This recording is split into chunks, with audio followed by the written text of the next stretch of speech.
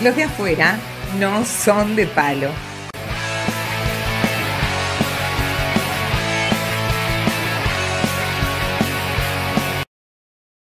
Hay otras jugadas distintas, hacen como. eh, son racimos. Eh, van tres al primer palo, uno al medio, otro al segundo. La pelota levanta el centro, va al primer palo, cabecea para el segundo palo, entra el pelado, cabezazo.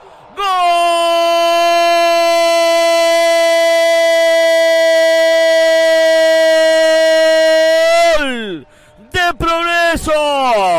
Le dijimos que estaba preparada la jugada. Un racimo. Y vieron dos al primer palo.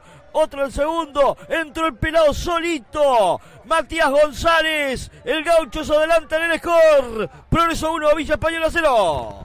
Sí, lo adelantábamos, que Progreso trabajaba muy bien, la pelota detenía, sobre todo en los córner a favor, ya no era el primer córner, ni el segundo ni el tercero, había varios, y el que siempre, el que más le temía era el número 3, era Matías González, el jugador que le había salvado el partido frente a Miramar la semana anterior, vuelve a convertir, vuelve a convertir de cabeza la especialidad de la casa, Progreso 1, Villa Española 0, gol de Matías González de cabeza.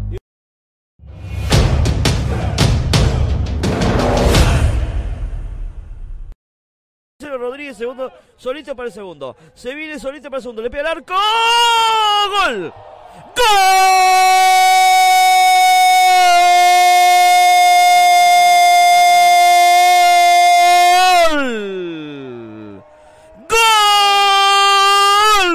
¡Gol de Progreso! Luciano Rodríguez se metió solito por el sector izquierdo. Definió con la derecha, la bajó. Impresionante.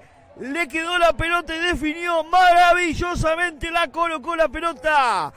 Progreso 2, Villa Española 0. Luciano Rodríguez el autor del gol. Golazo, Marcos. Sí, este golazo no solo por la definición, sino por el pase que lo vio habilitado este, al jugador número 10 de Progreso que entró al área, que midió, que también le dieron espacio, porque le dejaron apuntar y después lo fusiló a Gabriel Araujo que no pudo atinar a hacer nada, porque cuando quiso ver la pelota ya estaba adentro. Golazo del equipo de Progreso que está ganando 2 a 0 aquí de local.